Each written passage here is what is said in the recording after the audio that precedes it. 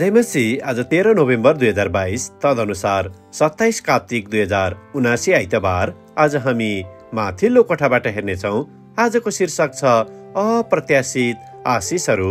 आज हामी परमेश्वरको वचन एर्मिया सत्रको सातदेखि आठसम्म पाठ गर्नेछौँ।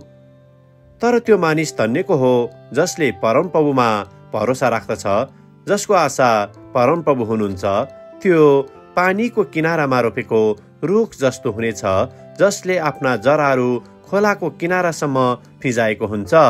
गर्मी हुँदा त्यो डराउँदैन। त्यसका पातहरू सहँदै हरियै हुन्छन्। खडेरीको समयमा त्यसलाई केही चिन्ता हुँदैन र त्यसले फल फलाउन कहिले चुक्दैन। आमेन। भजन एक सय छको एकलाई लेखक यहाँ जोड दिनुहुन्छ। परमप्रभुमा धन्यवाद चढाओ किनकि उहाँ भला हुनुहुन्छ। उहाँको करुणा सधैँभरि रहन्छ। आमेन। लेखक आफ्नो अनुभव र विचारलाई यहाँ यसरी प्रस्तुत गर्नुहुन्छ। हाम्रो आँगनमा असी भन्दा बढी डैफोडिल फुलहरू भएको बगैँचा छ। जाडोको अन्त्य र वसन्तको सुरुवातमा आँगन सुन्दर पहेँला फुलहरूले भरिएको हुन्छ।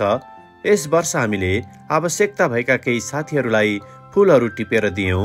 त्यसैले फेरि डैफोडिलहरू हेर्न अर्को वर्ष कुर्नुपर्छ भनेर हामीले सोच्यौँ।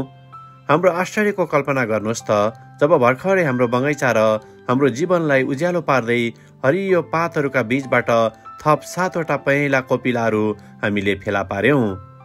परमेश्वरका आशिषहरू ती ढिलो फुल्ने डैफोडिलहरू जस्तै हुन् जुन कहिलेकाहीँ अप्रत्याशित तर सधैँ हाम्रो लागि विशेष प्रोत्साहन दिने हुन्छन्।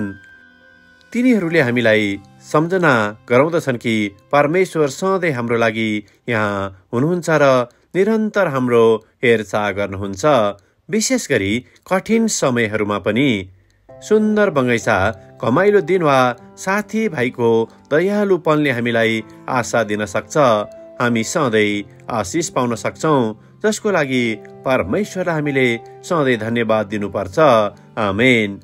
आजको विचार परमेश्वर मलाई प्रत्येक दिन साधारण आशिषहरूले आश्चर्यचकित पार्नुहुन्छ।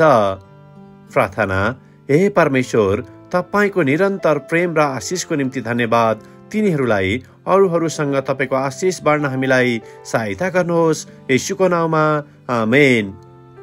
आजको लेखक मार्गरेट मार्टिन अस्ट्रेलिया। आजको प्रार्थनाको विषय मेरो सहायताको खाँचो परेकाहरूका निम्ति।